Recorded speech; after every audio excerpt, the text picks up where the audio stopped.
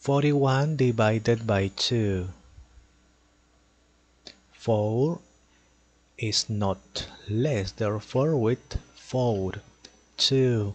Multiply by which number is nearest to 4, but not greater. 2 multiply by 3, 6, 6 is greater. Multiply by 2, 4, okay, 4 is not greater. 4 minus 4, 0. Next, eliminate 0 on this side. 1 is less, therefore, next, there is not number, therefore complete, always complete with 0. Two numbers, therefore here 0 point. 10. 2 multiplied by 5 is 10, okay, 10 minus 10, 0, 0, therefore finish.